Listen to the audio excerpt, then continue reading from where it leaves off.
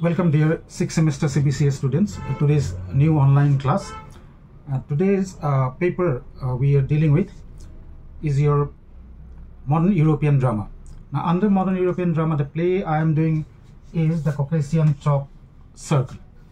And now modern European drama you know it, uh, it includes um, different uh, subgenres of drama.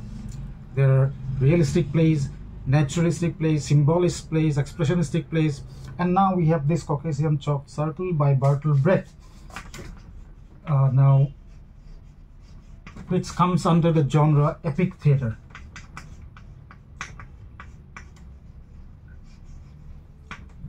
Okay, so this modern period was characterized by a lot of experimentations. Experimentations in drama in different parts of Europe, different countries of Europe. Now, one of those experiments were going on in uh, was going on in Germany, in the hands of Bertolt Brecht and his comrade Erwin Piscator.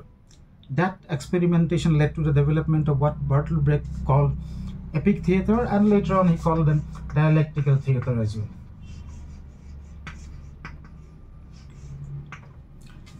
So, to, in order to understand the Caucasian chalk circle, we should have a solid idea of what epic theater or dialectical theater is.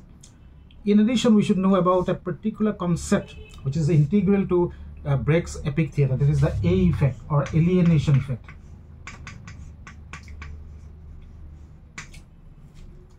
So let's first start with epic theater. Now the term itself is interesting. Like your say lyrical ballads, two different uh, the lyrical and the narrative are put together there. Lyrical ballads of Wordsworth and Coleridge.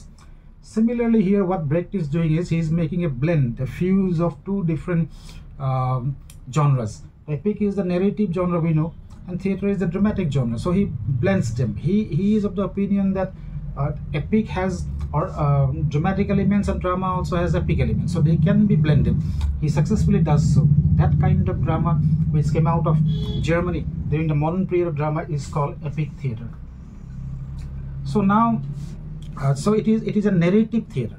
The stage begins to tell a story. There is an enactment and at the same time there is a telling as well. So uh, that, that is that is the kind of drama. So it's narrative theater and because it is it, it is concerned with big social issues this theater is for social change not for individual change.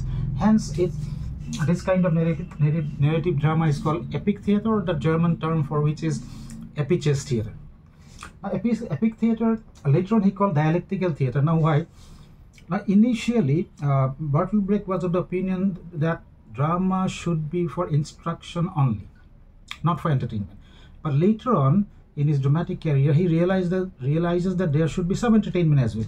But that emotional uh, attachment should be restrained should be checked so there is an in, uh, emotional identification of the audience with the with the play and the characters must be restrained. Because if there is emotional identification to the fullest there will be no thinking. So epic theater is meant to uh, educate. It is instructive theater. A theater for instruction, theater for social change. So, and it is communist theater aimed at uh, uh, changing the capitalist society. So it is a theater uh, which is thought-provoking, uh, which makes us think. So in, for that to happen, the realistic uh, manner of uh, emotional identification of the audience with the characters and the actor with the character have to be checked and restrained for that he uses what is called the alienation effect the german term for which is verfremdung effect now because there is an interplay between emotional identification and detachment he calls his place dialectical theater he later called his place dialectical theater dialectics in philosophy we know is the way of uh, uh, trying to uh, explore truth by placing opposing arguments together by by by contesting opposing uh, arguments what is called thesis, antithesis, and synthesis. So that kind of a dialectics you will find in epic theater. And primarily there is, primarily there is this interplay between emotional attachment and, and detachment. Epic theater has, uh, how is this uh, effect realized? So A effect alienation, to alienate means to make, make strains. There has to be a distance, distanciation, defamiliarization, distanciation between the audience and the character and the actor and the character. For that, certain uh, techniques are used. So there, there, there is the stage begins to tell a story. There are scene titles which tell you that what's happening there uh, is not real life. It, it, it's it's uh, the epic theater does not aim to create an illusion. It has obvious theatricality. Uh, uh then uh, songs and ballads are used to break the emotional identification. Emotional identification is snapped at crucial moments. A direct address. There, there can be a narrator. There are masks used. Uh, of course, song, song, song, songs and ballads are there. Then uh, there is historicizing. Contemporary are uh, uh explored with the help of history. Uh, there are split characters. All, all these help in alienation, um, alienation or Verfremden. And that kind of a theater which uses alienation and which is for social change, which is a Marxist kind of theater, which uses uh, things like obvious theatricality, uses mass, songs and ballads, uh, split characters, historicizing, and that kind of a theater is called the epic theater. Now, the Caucasian chalk circle is uh, Brecht's one of one of his uh, plays, which is also uh, part of this genre called the epic theater or dialectical theater, which also uses a effect. Now, coming to the title, title of the uh, play, the Caucasian chalk circle. Now, this title actually comes from uh, two sources. We have first the uh, biblical story of King Solomon.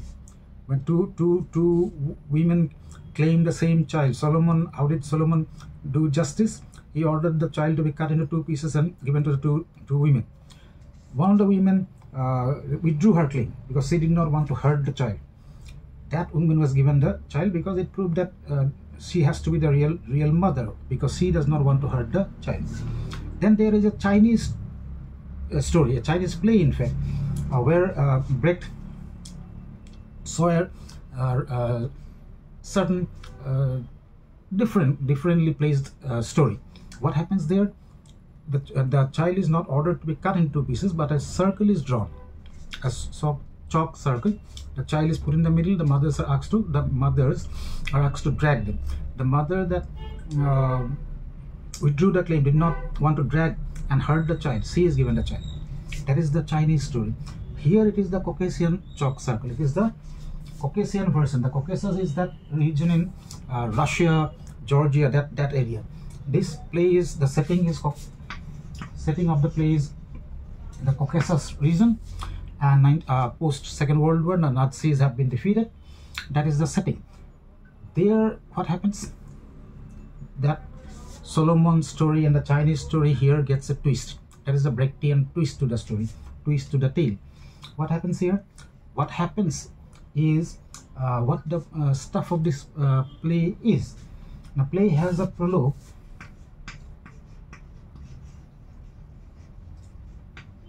which is the uh, frame story. This prologue is about who should land go to. The prologue, the scene one, the title, scene title, we said epic theater scene titles. Uh, this uh, prologue is titled uh, the battle for the or the fight for the uh, valley. So the question there is who should the valley go to? When that is decided, there is a celebration. A singer has been uh, invited. He he he tells a tale. He narrates a tale. So that is epic theater in in in, in being in, in form and content that is epic theater.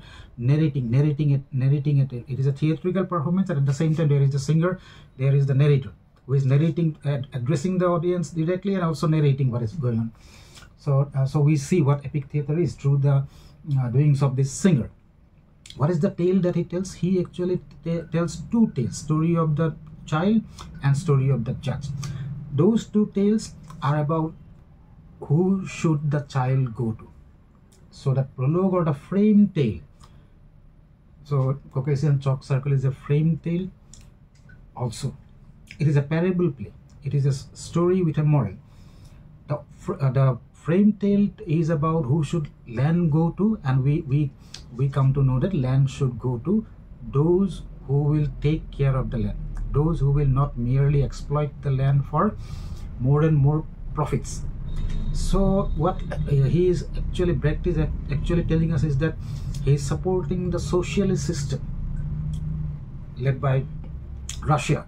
There is also this issue of Germany after Second World War the being uh, fought for by the United States bloc and the USSR bloc. West Germany and East Germany. Who should the land go to Brecht's sympathies are with the socialistic system which is the prologue. Then the inside story or the two stories the noble child story and the story of the judge. That is about who should the child go to. The child should go to the, the woman who takes care of him. Now here in this twist the the woman who is given the child and who is supposed to take care of the child is not the biological mother. This is the modern twist actually. The biological mother is claiming the child because of her self-interest because if the child is not with her she cannot inherit her husband's late husband's wealth and property. That is why she is claiming that child. Earlier she had actually neglected the child. The maid who take took care of the child selflessly facing all the troubles and pains it is she who does not drag the child she is not the uh, biological mother. She is given the child by the eccentric, eccentric judge. So that is the story. That is the twist to the tale. So who should land go to who should child, the child go to? So that that is what the uh, um, play is about. The themes of the play are of course socio-economic system capitalism versus socialism. That is one of the themes. Nationalism also should land should go to those who belong to the land then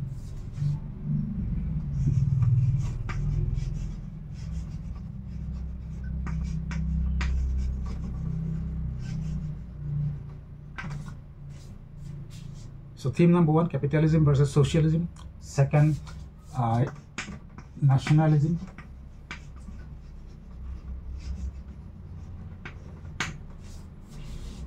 Then womanhood or motherhood.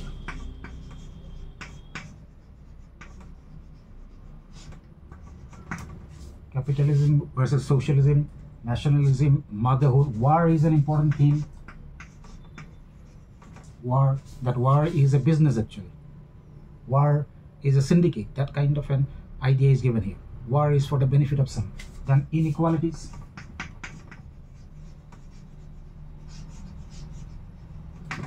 Social inequalities are shown in the play.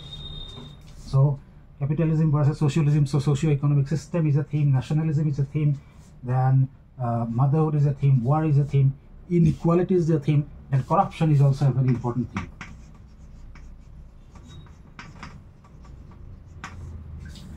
So as far as the genre is concerned, it is a big play. It uses alienation effects. Title comes from that uh, uh, Chinese story, which has an antecedent in the Solomonic story. Then, of course, there is the Caucasian twist. Setting is uh, Caucasus region after 1945, after the defeat of the Nazis. Then, as far as the themes are concerned, these themes we have just mentioned. Then, structure of the play, prologue. There is a frame tale. Uh, within it there are two inset stories what are do, what are those that uh, prologue is about who should the land go to then the other two stories are who should the child go to the story of the child and then the story of uh, the judge. Then what are the scenes? The first scene fight for the valley we said which is the prologue. Se scene scene two story of the noble child how the noble child was neglected by the mother abandoned then taken away by taken and uh, secured by uh, the maid. Then the flight into the northern mountains, how in the midst of the rebellion, when the governor was beheaded and the governor's wife escaped, the maid took the child to her brother's home in the northern mountains, flight to the northern mountain. Then what she faced in the father's, in her brother's house, she had to uh, constantly uh, uh, face questions about her uh, um, child. Her respectability was questioned. She had she had to be married to an invalid who was actually pretending to be invalid to escape the conscription for the war that was taking place in Persia when the he she, she was married.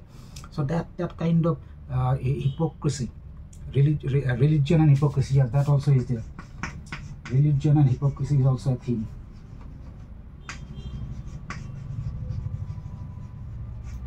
The noble noble lady, she is a maid her her uh, uh, virtue is questioned.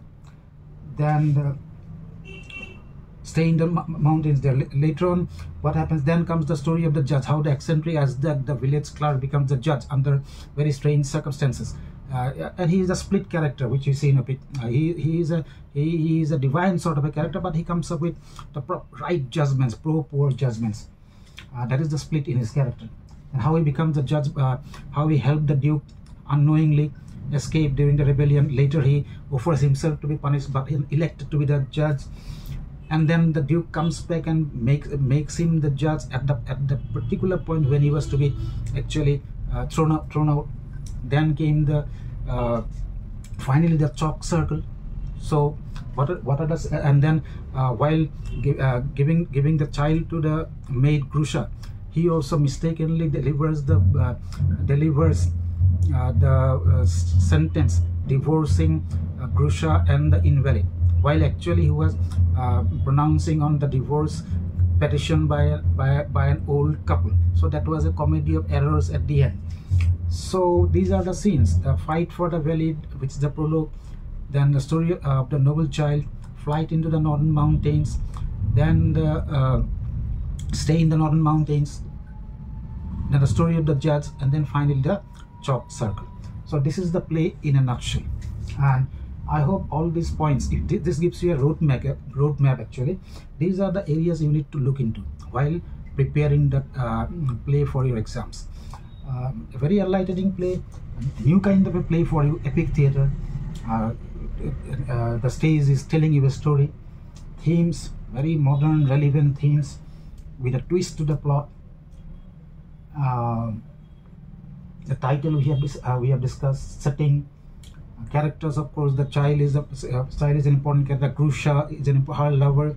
Uh, Simon Shashava is an important character. Uh, Lavrenti is a brother. The governor is there. His wife uh, greedy wife uh, shallow and greedy. Then the fat prince the grand duke. And Azdak is an important character. So this is this is what the play is. I hope this uh, this uh, class will be of help to you in your endeavor or in your um, exploring of the uh, of the play.